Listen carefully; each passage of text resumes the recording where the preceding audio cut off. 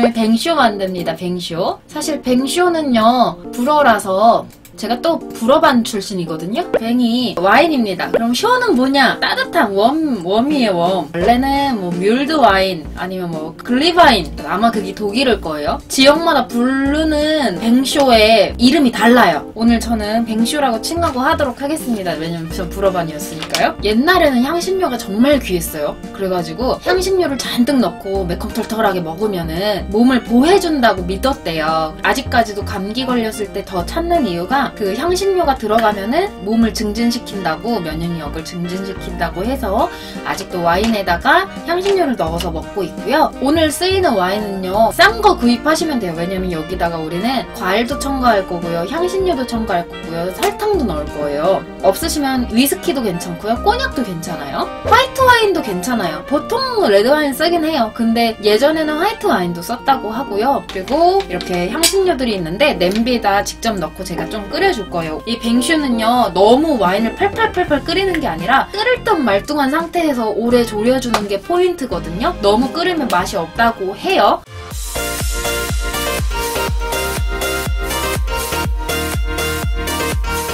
여기다가요 준비한 재료들을 넣으면 돼요 먼저 정향은요 많이 쓰진 않아요 한 다섯 개 그리고 시나몬 스틱은요 하나 정도 분질러서 이렇게 넣어주세요 팔각은 두 개 정도 쓸 거예요 팔각 솔직히 너무 이쁘지 않아? 그리고 여기다가 보통은 오렌지를 쓰기도 하고요. 오늘 저는 이 과일까지 다 넣어줄 거예요. 흰 부분을 많이 쓰면 이게 너무 써져요. 흰 부분이 쓴맛이 다 나거든요. 오늘 이 껍질도 넣어줄 거거든요. 대신 흰 부분이 거의 없게끔 긁어서 넣어주세요. 뭐 들어가도 상관은 없는데 뒷맛이 씁쓸한 거를 싫어하신다 그러면 이걸 꼭 제거를 해주셔야지 좋아요.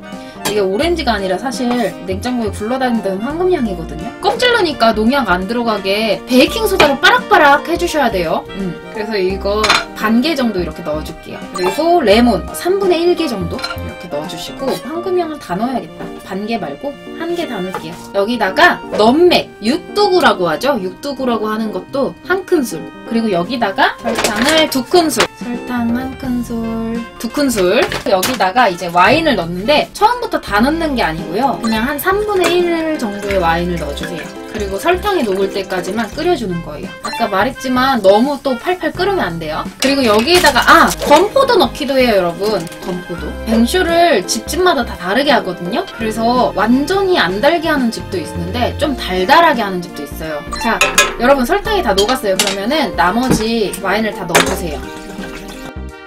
넣고 끓여줍니다. 그래도 20분은 못해도 끓였을 거예요. 여기다가 럼을 넣을 거예요. 꼬냑 넣으셔도 되고 럼 넣으셔도 되고 25ml 한 큰술 정도 넣어주세요. 그리고 마지막으로 간을 보시는 거예요. 빙슈가 조금 달았으면 좋겠다 하시면은 설탕이나 뭐 꿀이나 아가베 시럽 뭐 이런 거 넣으시면 되고 나는 안 달게 먹고 싶다 그러면 여기서 마무리 하시면 되는데 럼 넣었으니까 한번 저어주고 간 한번 볼게요.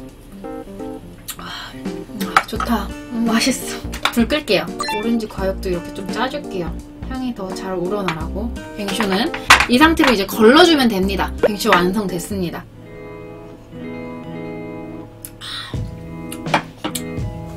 아우, 좋다.